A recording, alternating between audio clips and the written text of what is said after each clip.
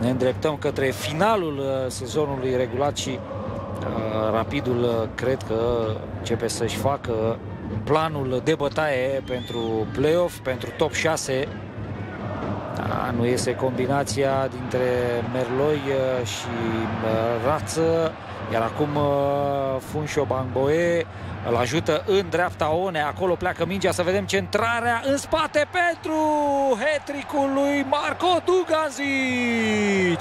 4 la 0, rapid fece voluntari Marco Duganzic cu al doilea hetric consecutiv în Giulești, 3 cu șep și 3 cu voluntari.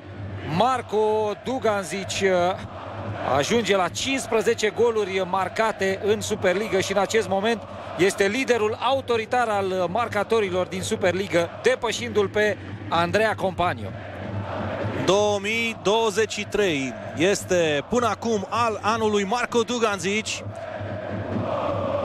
Trei goluri uh, încă o dată în Giulești, de această dată în fața celor de la FC Voluntar. Totul pleacă de la această accelerare a lui uh, Funșo Bamgoe, care a împins jocul excelent. Centrala lui Iona este perfectă, iar Dugancic înscrie cel mai ușor gol uh, din această partidă. 4 la 0 pentru Rapid.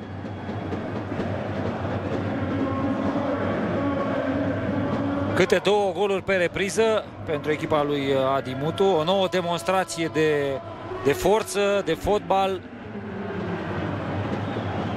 pentru rapidiști care, iată, ajung la șapte goluri marcate în trei meciuri în acest an calendaristic și niciunul uh, primit. Da, standing ovation pentru Marco Duganzic, uh, tocmai acesta este motivul pentru care Adi Mutu îl scoate pe croat pentru a fi aplaudat la scenă deschisă. Intră Lucasen un nou meci de referință pentru Marco Duganzic în Superliga. Ce înseamnă să ai un antrenor care îți dă foarte mare încredere. Duganzic uh, a avut uh, parte de încurajările lui Adi Mutu și uh, răsplata a venit